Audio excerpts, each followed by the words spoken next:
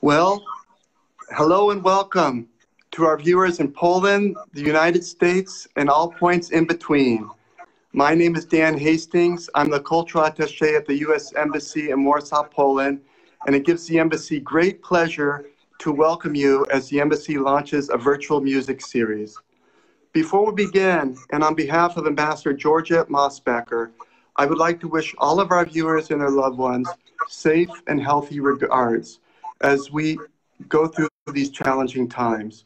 We hope this music series will provide not only rich cultural experiences, but also inspirational comfort as we navigate these difficult days.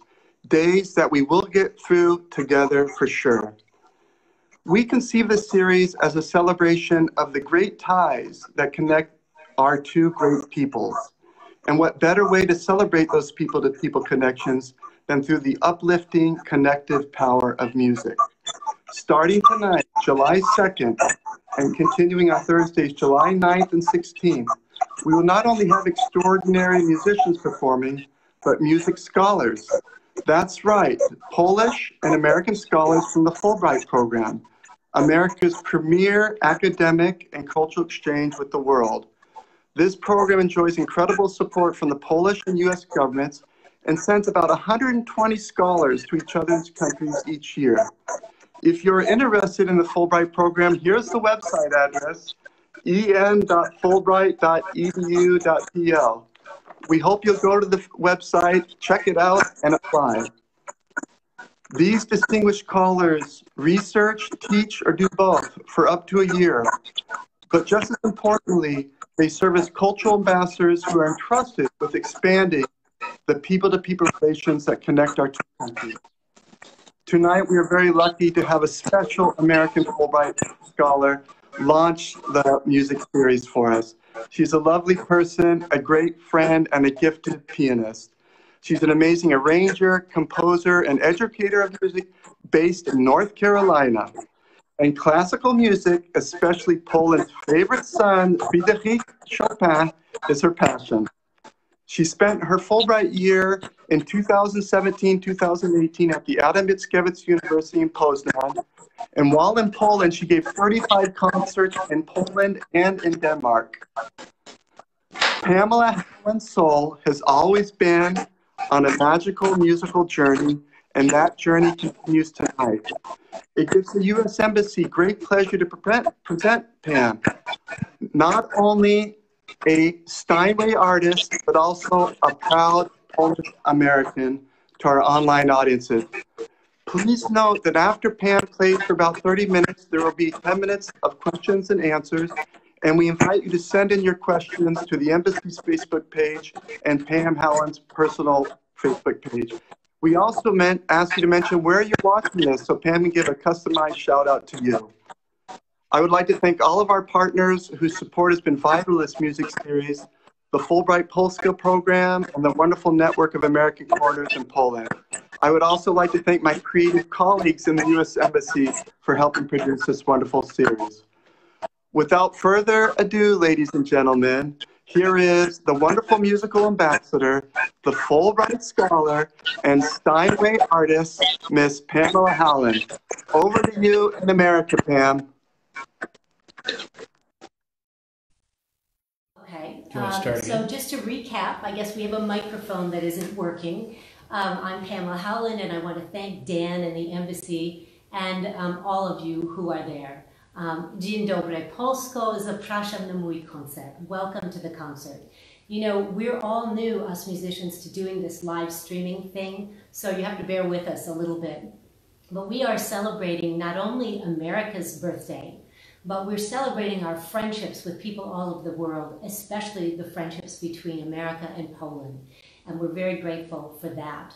Uh, when I was a Fulbright um, grantee in Poznan uh, at a Mickiewicz University, I taught, I continued my research on the great pianist Frederick Chopin, the native son of Poland, and I also did a lot of performing. But one of the most fun things for me was teaching a course called The Musical Legacy of Immigration.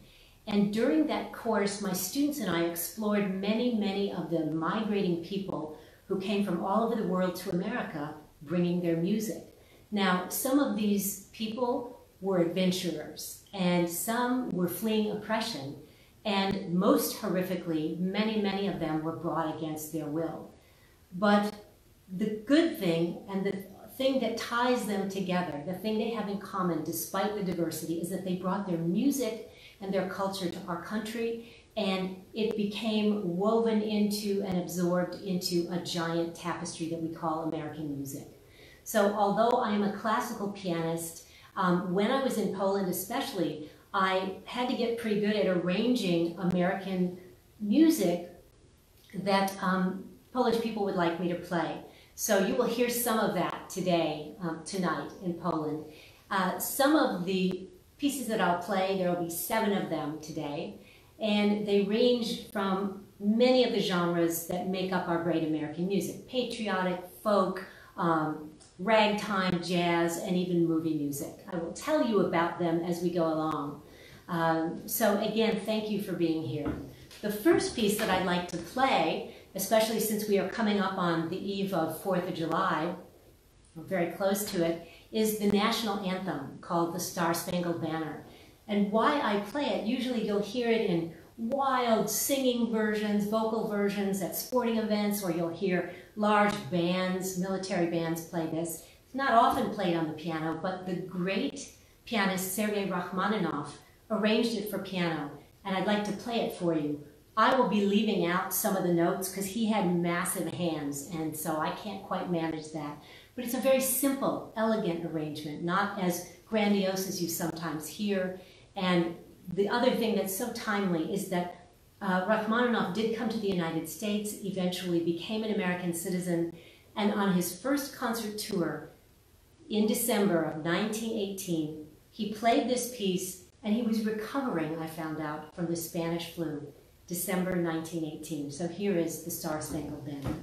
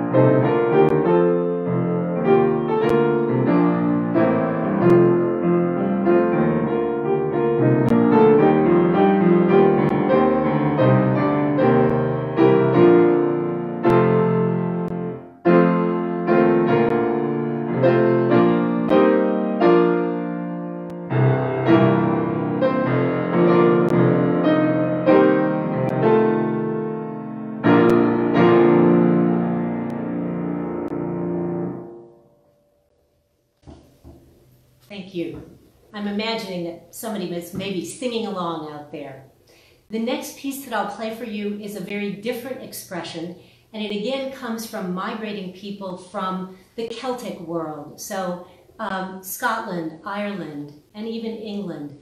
Now, the hymn tune, Amazing Grace, is what um, anchors this medley. So I call it um, Amazing Grace Celtic Medley because it also features other Celtic hymns and tunes that were brought over by settlers and um, the later migrations. Um, and they're beautiful tunes, but you will hear some of the melancholy, I think, from being far away from home. So you'll hear Amazing Grace, you will hear Shenandoah, you'll hear Loch Lomond, and finally you'll hear Auld Lang Syne, which is the Scottish song um, that we all sing at New Year's Eve all over the world. So this is Amazing Grace um, Celtic medley, and you might also hear bagpipes, maybe a little fiddle, a music box, etc. I hope you enjoy this.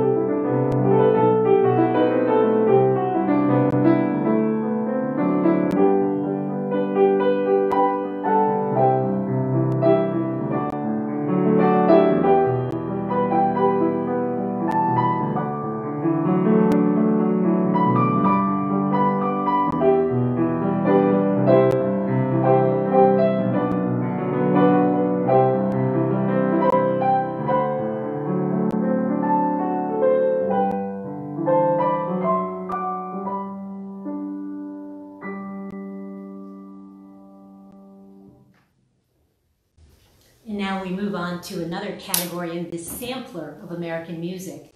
Scott Joplin was the greatest African American composer, probably, that we have. He was a brilliant genius. He's known as the king of ragtime, but he also was a learned composer. He had studied Bach, Beethoven, Brahms, Chopin in his youth, and he had desires to be a, a world-known composer for great classical works, but he's known as the king of ragtime. And this ragtime was dance music, and this is his 1899 runaway hit called Maple Leaf Rag. Now, couples danced to this. It was called a two-step. So it was quick, quick, slow, quick, quick, slow, kind of a partner dance, which was seen as scandalous at the time. But um, it's wonderful and uplifting, so a tribute to Scott Joplin, Maple Leaf Rag.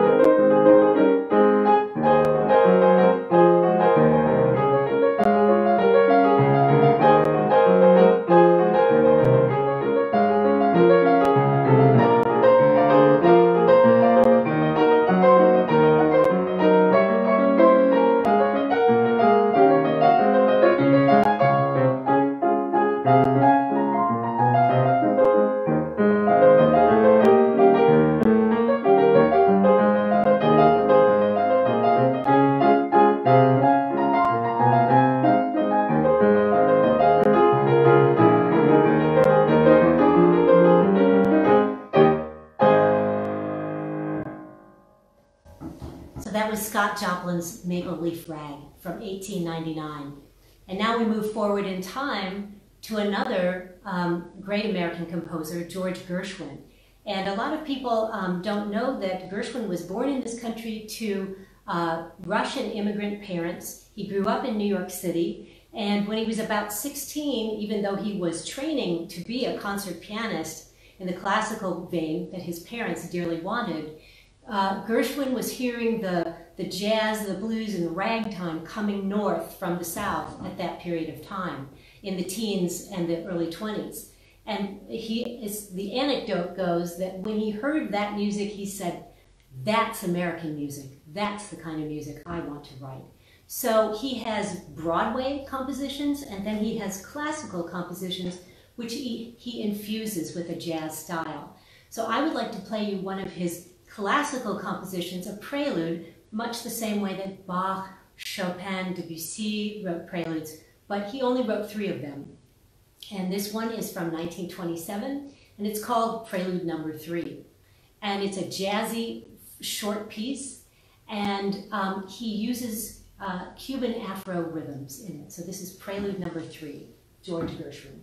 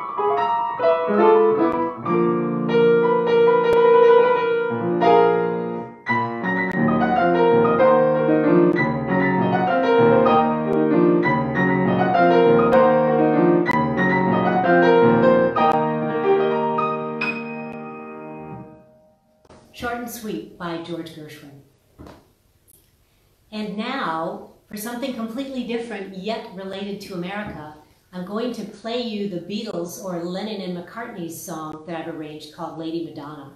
And you might say, well, this is a British song. Why are we playing it on an American program? But what's really important to know is that the Beatles were highly influenced by um, 1950s rock and roll, rhythm and blues, blues from the Deep South in their music, and they in turn, in the 1960s when they came to America, really influenced American culture. So much so that um, the Beatles' arrival was often called uh, the second British invasion. So, owing to our British ancestors, I'd like to play you the boogie woogie version um, as uh, arranged by me of Lady Madonna.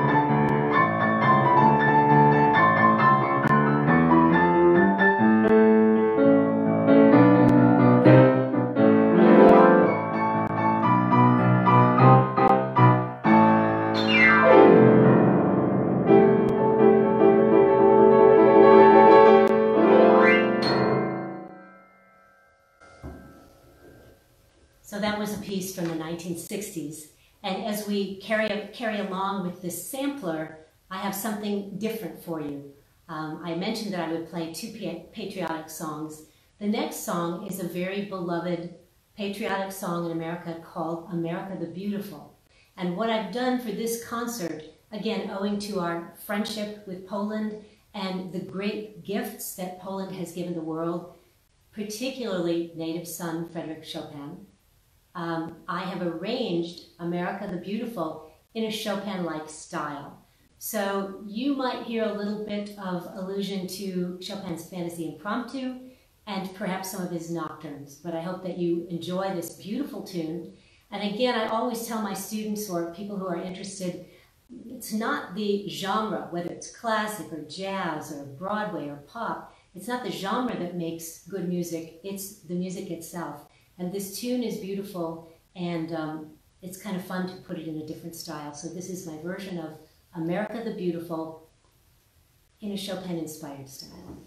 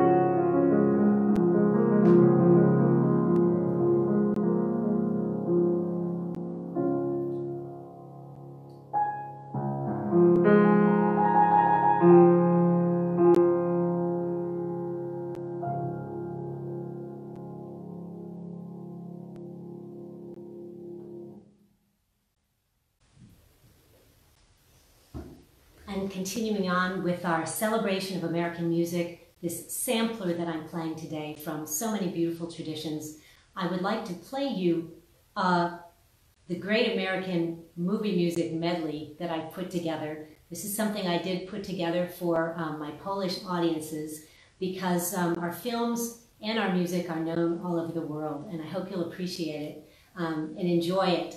You may hear themes from Somewhere Over the Rainbow, excuse me, Porgy and Bess, Jaws, Psycho, the Hitchcock 1960s movie, Harry Potter, Star Wars, and The Lion King.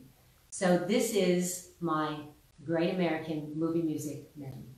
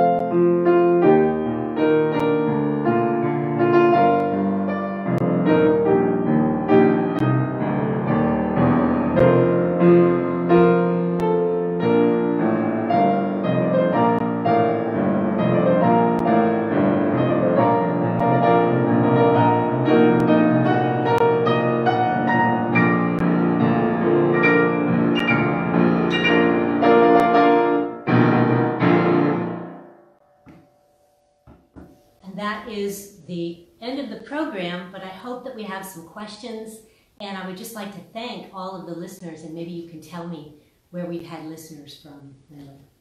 Um, well, I know we've had a number in Poland. We've had some in Wisconsin and Nebraska. Wisconsin, Nebraska, North Carolina, Poland. I'm going to move this microphone closer to you. All right. And we're going to go back to that microphone because I figured out why it wasn't working before. Okay, this is Wendell, my husband, who's on the end of production, my producer.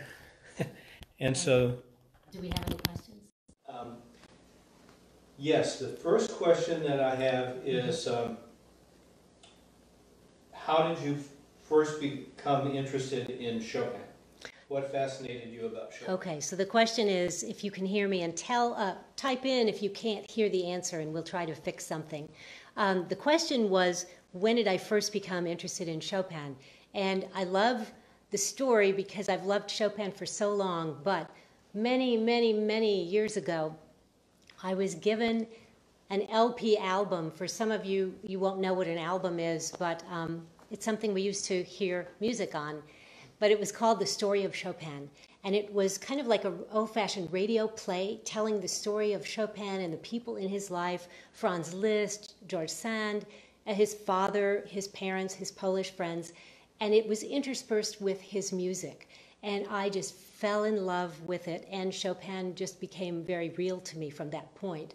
I wasn't able to play Chopin um, pieces when I was eight, but it has become my great love. And um, I'm so grateful to uh, the Polish people for all of their support for my love of Chopin. And um, there's so many brilliant pianists there, but what I love, one of the things I love best about Poland is the um, cultural love of music. It's just a culture that adores music, and they gave us Chopin. So I hope that answers that question. Another one? Um, for some reason, I can't see mm-hmm. all the comments. Okay. Um, I apparently have them turned off mm-hmm. on my phone.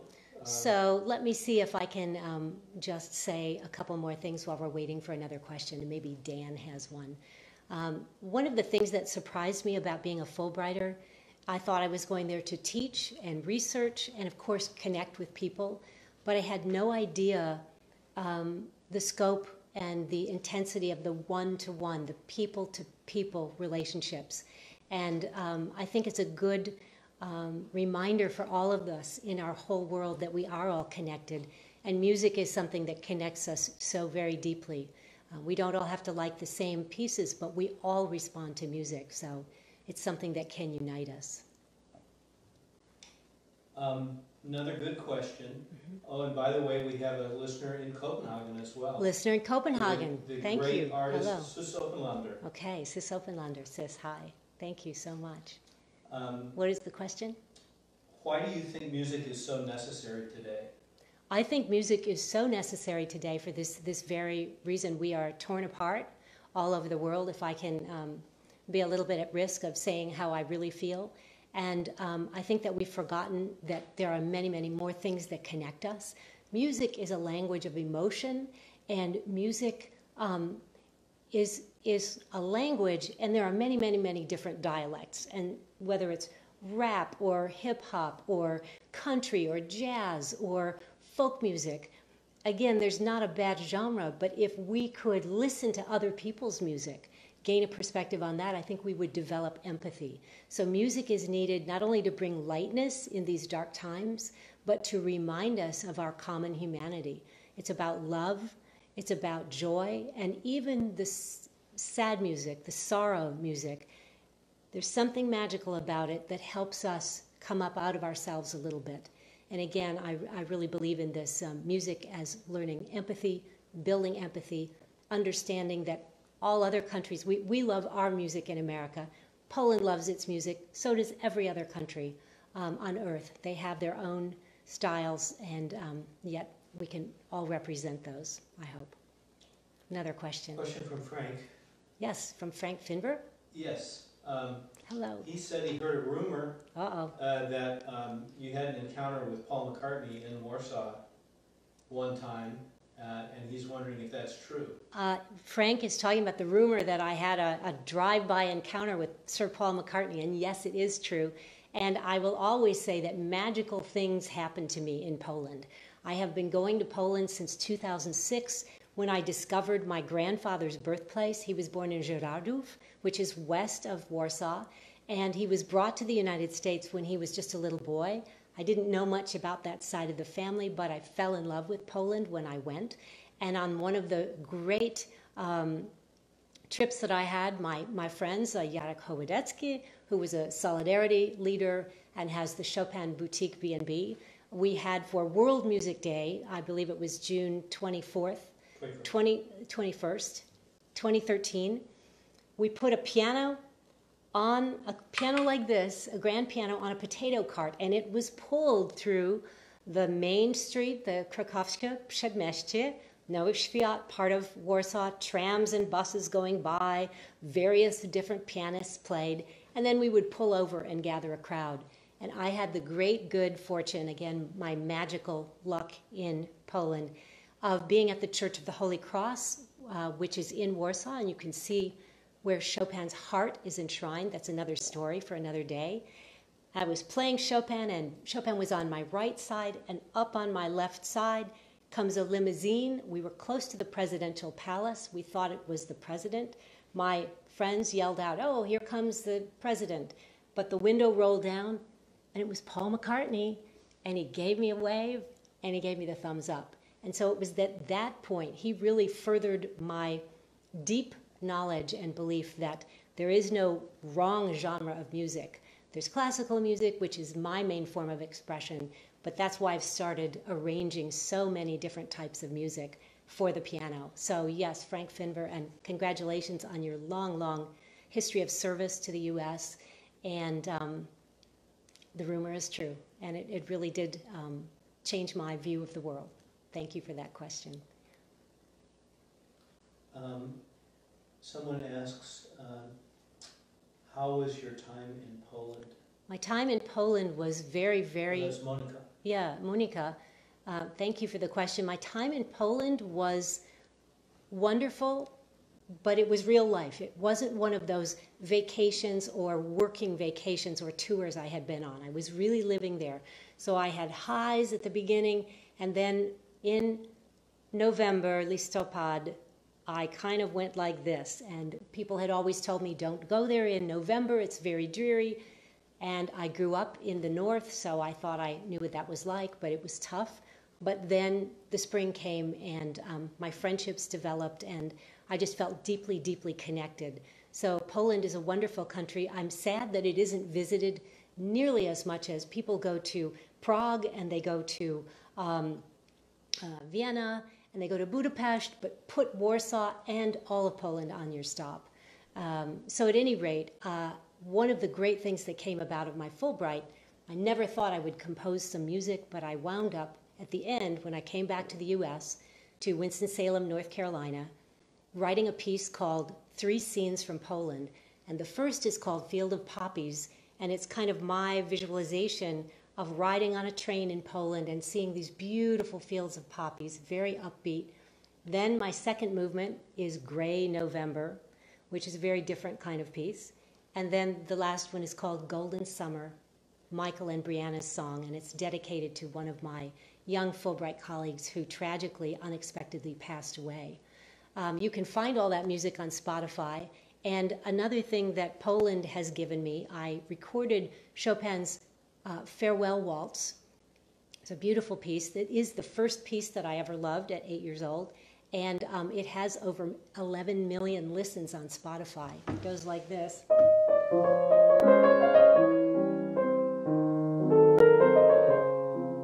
And you'll have to go to Spotify to hear the rest, but I hope that you will. And um, I guess maybe there aren't too many other questions. I don't Uh, want to. here's one. Here's Uh, another question. What musical dreams would you still like to achieve or experience or do? Oh, that's a great, a great question. There are so many. I have uh, my research project in Chopin uh, in Poland was called and is ongoing called Chopin's Mazurkas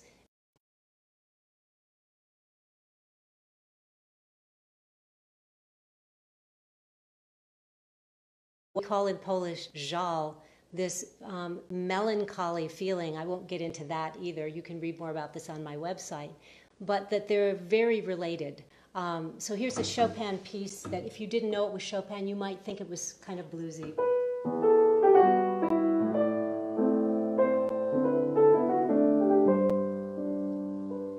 So that is an ongoing project I'd like to um, complete. So there would be um, a concert, uh, probably two concerts, because Chopin wrote over 51 mazurkas. So I would record the mazurkas and play them and do a little blues singing, but also maybe have some guests on the concert, a little bit of blues piano playing. Again, I like to put together things that don't seem like they fit together, like my program called Chopin Meets the Beatles, where I play a pair of a Chopin piece and then a Beatles arrangement that I've made to show how, even though they seem so different at first glance, they touch the same emotion. So I think that's again, music can unite us. It helps us understand people all over the world. We see someone who looks different than us, and you know, if if we would find out what kind of music they like, or what their favorite food is, or um, who is in their family that they love, we would find more similarities. So that is kind of a larger musical dream that I have, because there's way too many uh, pieces of music in the entire world um, to get through in one lifetime. And um, I'd also perhaps like to see if there's any more music inside of me to come out. Any more questions? Um, People are saying thank you for this wonderful. Thank concert. you. Um, we are just about to celebrate the 4th of July, but I would like to also say in this time to remind everybody that everyone except for the Native Americans in America has come from somewhere else. And we are made up of people from all over the world. And um, this is still an important value. And um, you are welcome here when this pandemic is over. And we hope we will be welcomed back to Europe. I'm waiting to come back to Poland, but we will, um, you know, just long for that and enjoy it when it happens. But just remember that we are all we are all immigrants in this country, and this is how we become American. So it's possible. Thank you, Dan. Thank you, Ambassador Mosbacher. Thank you, Frank. Um, thank you, U.S. Embassy of Warsaw, and um, all you great listeners from all across the U.S. and in Poland. I really appreciate it. So stay in touch. If you go to my website, sorry? And in Denmark. and in Denmark. And thank you to my husband, Wendell, for being the producer today. If you go to my website, pamelahowland.com, um, you can contact me there. I'd love to hear um, more um, questions or have more conversation with you. Thank you so much. Um, be safe. Happy 4th of July. Thank you. Dziękuję bardzo.